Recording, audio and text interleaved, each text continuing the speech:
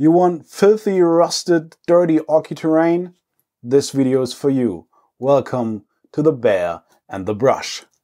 Uh, I shouldn't have done that.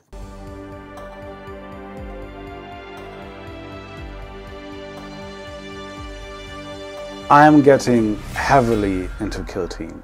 I really enjoy the game, I enjoy the boxes, I enjoy the terrain pieces. It's a full-on package of a game and I enjoy that immensely. I want to show you guys some effective ways to paint your kill teams and especially to paint your terrain. For every box I'm doing something different with the terrain and for the ork stuff, I love orks, I went full-on crazy mode. I did everything I know to these terrain pieces. Undershading, oil washes, dry brushes, and so many variations that it really pops out of the battlefield without taking too much away from the miniatures. I also decided that a paperboard game table is kind of boring, so I grabbed a 22 by 30 plywood thingy covered it in glue and then just threw everything I have on basic material on there. From grass to sand to whatever and after I finished all that I added tufts and rocks. Of course, you could treat your terrain like a miniature and paint like everything on these pieces. But that would be a total time killer. I mean, the amount of bolts on this thing is like way too much.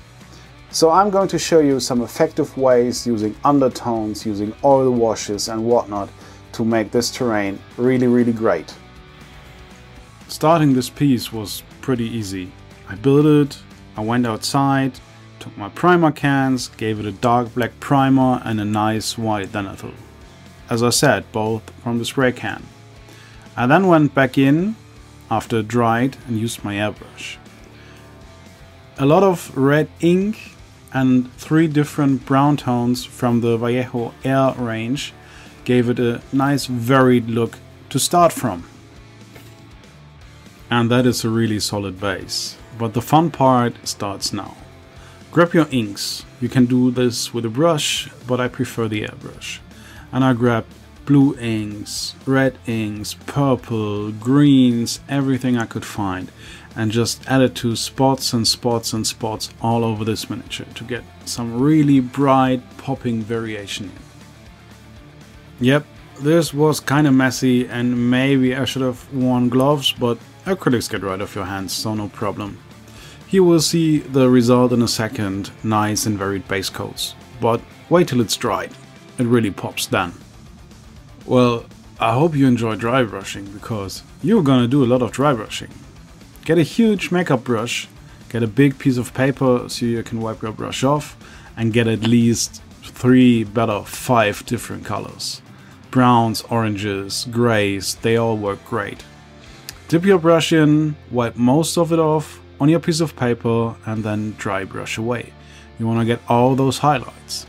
As you can see here, I am pretty hardcore with my dry brushing. It's not really fine, it really gets a lot of paint onto the models because it is dark already and we will use things that will darken it down again. So be generous with the color in this step. So you varied your undertones and your inks and your dry brush colors all across the terrain pieces and you got a nice varied look. Now we're gonna grab some colors and we paint in the emblems, different parts on the terrain pieces like canisters and rooftop shingles and whatnot, what we can find. Just get some color in. Blues, reds, yellows, greens, doesn't matter. Do it as you like it.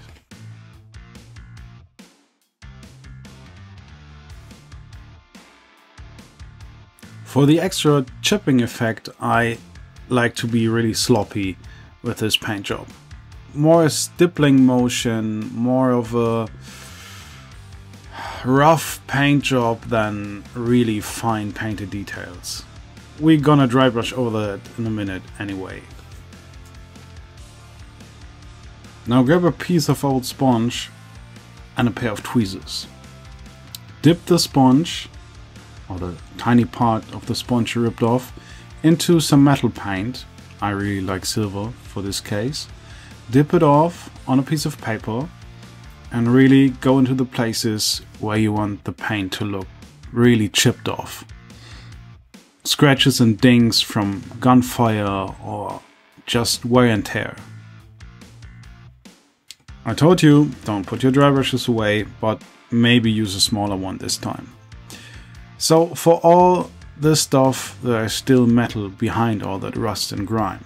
And getting in with a silver, with a bronze, with a copper on different parts will make it look like there's a lot of material involved and a lot of motion wear and tear on this model. So for example, the textures played up top, they are often walked on, so I dry brush the silver across it so it will look like someone walked on it a lot of times. As mentioned before, yes, I'm going to use oil washes, but you don't need oil washes. You can do all this with acrylic washes, you just have to be more intentional and be more careful with the placement because it's hard to remove afterwards.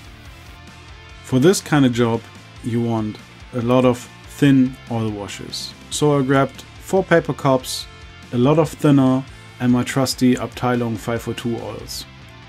My favorite oils for washes. Really thin them down and they will work wonders on your terrain.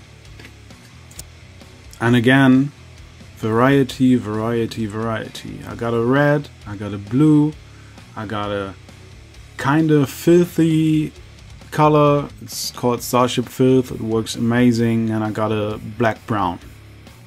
So watching me putting oils on for an hour isn't that kind of important, I guess. So I just show you the results. Yep, the oils are still on here.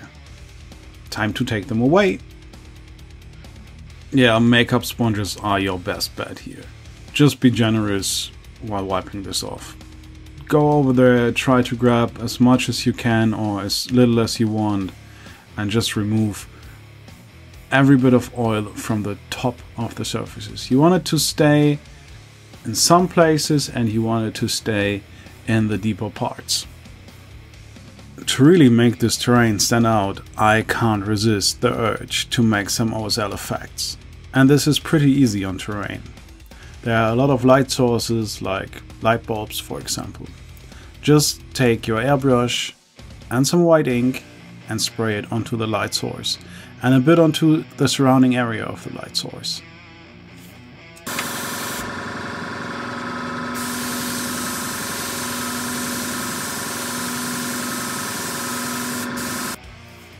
To add a really warm light color to all those areas, I use a special mix of white ink, yellow ink, airbrush thinner and Vallejo Fluo Yellow.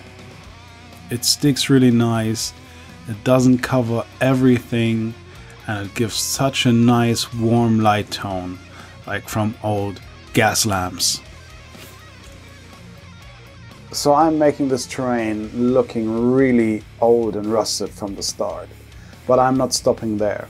There are so many nice tools like streaking grime, rust, verdigris, all pre-made in little tiny bottles and I can use them as much as I want to. That's the fun part.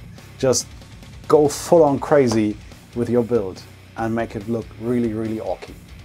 I really like the Vallejo effect colors for Rust. I often just stipple on some of the dark and stipple over some of the fresh rust over it. Also a rough mixture of both really looks great on terrain.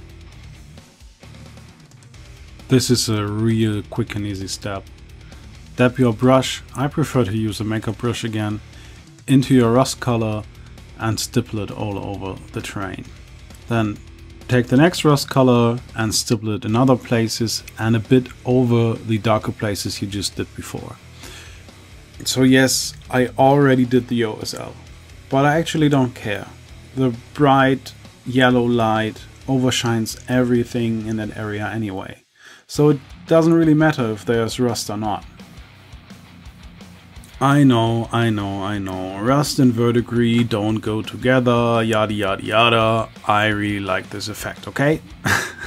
I like to put verdigris where stuff could or not could be wet. And it looks good. It's a nice color variation. Pipes and batteries and whatnot all around the train.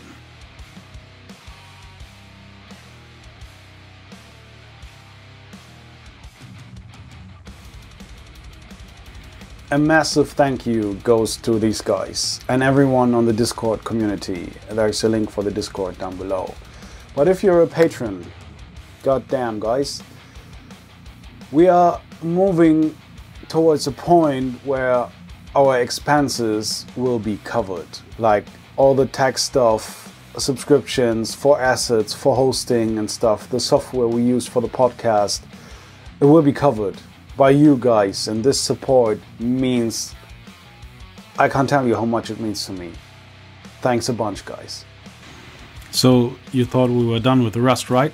Ha! Fooled you up. There's a lot of more stuff I want to do, and this AK Rust streaks are amazing. They float everywhere and they kind of dry a bit translucent.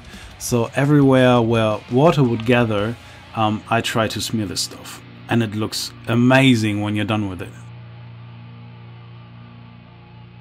I'm also working on a really quick way to finish these little Krieg guys, just with some Army Painter speed paints and a dry brush. You want to see that, hit me up in the comments. When I said we will be overdoing this terrain like madman, I meant we will be overdoing this terrain like madman. So let's grab another tool, shall we? This is Tamiya panel liner and it will do two things for us. First of all, if we put it in some places, like really gently, it will make what it's supposed to do, panel lining. It will give us a nice black line to separate some pieces and make them look more unique. The other thing it will do is it's amazing for leaks and oil spill. If you really slobber this stuff on, it looks like there's oil pooling up, it's drying thick. I love this stuff. And yes, this is an amazing tool to misuse on your terrain and not use it for what's intended to do. You there, you're getting tired. You want to hit the like button and the subscribe button now.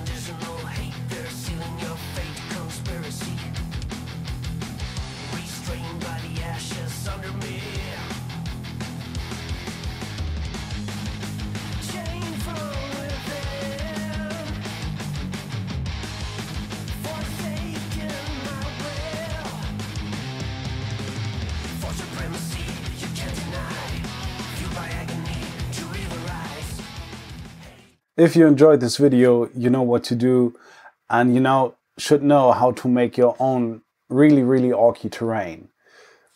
And you should know that you shouldn't lick it. Kind of tastes funny. Thanks for watching, guys. Have a good one. Bye bye.